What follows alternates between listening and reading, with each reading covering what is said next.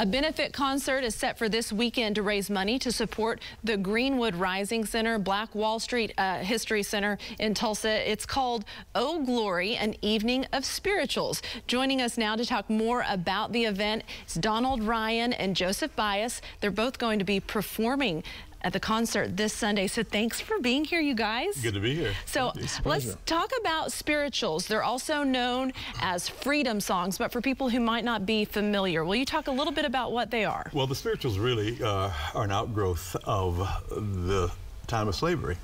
These were songs that were passed down by oral tradition from one generation to the next, but they were songs of hope. They were songs that the slaves would sing, you know, whether they were uh, working or whether they were worshiping or whatever. They were songs of hope of a future life that was going to be better than what they were experiencing at the time. So the spirituals, John W. Work uh, really uh, codified uh, much of what we call spirituals today into four different categories of songs: spirituals, sorrow songs, jubilees, and um, uh, uh, songs of, of, of the heart, mm -hmm. you know, songs of that that spoke to the issues of the time, you know, the desire to be out from under the oppression of slavery, and the hope of heaven, you know. So that's that's really the the origin of it. But it's become now really uh, a part of American culture. Mm -hmm. You know, the spiritual speaks to anyone who is going through struggles in life and who isn't. okay? right.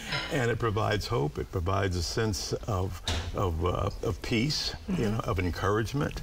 You know, and. Uh, it can uh, rev you up and get you excited too. and that might answer my next question because I wanted to know why you chose spirituals to be featured in this concert, but it sounds like for those reasons.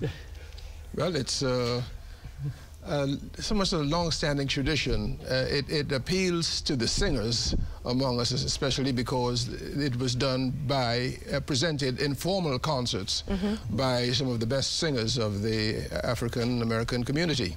Mm -hmm. going back from, you know, William Warfield, Marian Anderson, Paul, Paul Robeson, yeah. Uh, and Leontyne Price even, and just about all of the, the, the renowned mm -hmm. um, black singers do spirituals mm -hmm. because it's it uh, they have well it gives a chance to show off the voice, uh -huh. but also it's great music. Yes.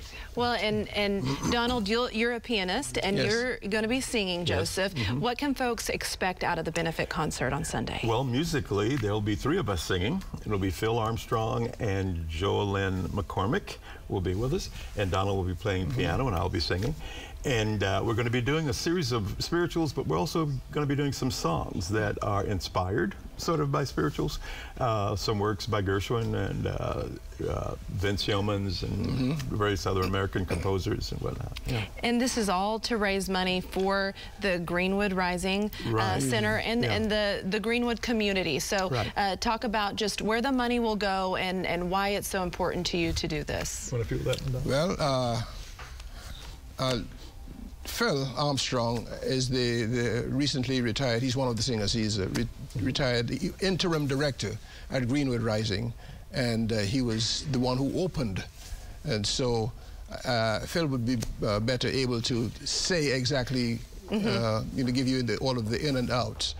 But it's, uh, it's for education mm -hmm. in the the, the, presentation of the displays at the center itself and the outreaches mm -hmm. to the community, both uh, well, to the immediate community around uh, uh, the center, mm -hmm. as well as the amount of tourists who would come in to look. Well, it's truly a world-class center, and we want to get the details out. The benefit concert will be this Sunday, February 19th at 6 p.m. It's at the Philbrook Museum, Wilson Hall Auditorium.